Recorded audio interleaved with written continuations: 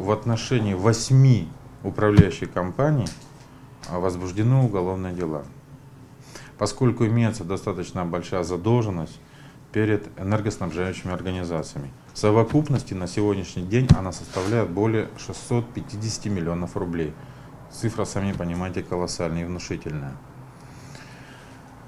Когда будет погашена задолженность в полном объеме, мне сейчас очень трудно сказать, но я могу ответственно вам заявить о том, что работа находится на контроле э, как на уровне э, федеральных органов, так и органов местного самоуправления по данному вопросу.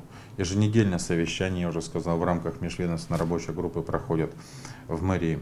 Отдельно э, создана еще рабочая группа по данному направлению. Акты реагирования вносятся со стороны прокуратуры. То есть этот вопрос не оставлен без внимания. Ему уделяется очень пристальное внимание, еще раз повторюсь, и задействованы э, очень большие силы для того, чтобы эту ситуацию нормализовать.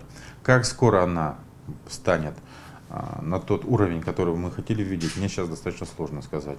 Но она не останется без внимания. Кроме того, знаю, что даже в рамках тех уголовных дел, которые возбуждены в отношении управляющей компании, а, руководители а, управляющих данной компании с руководителем энергоснабжающих организаций составляют графики погашения задолженности. Эта работа проводится. Даже несмотря на то, что возбуждены уголовные дела, платежи осуществляются. Ну а, а с какой периодичностью, удовлетворяет ли это соблюдение графиков, вам нужно лучше спросить у самих руководителей данных энергоснабжающих организаций. Если подходить к этому вопросу со стороны оплаты за потребленные коммунальные услуги или за предоставленные услуги другого рода характера, то платежи доходят до энергоснабжающих организаций, независимо от выбора способа оплаты населением. Я считаю, что в этом направлении нет вопросов. Если граждане считают все-таки оплачивать, э, скажем так, по старинке в управляющей компании, сделать это, запретить мы тоже не можем. Это право граждан, пусть они определяются сами.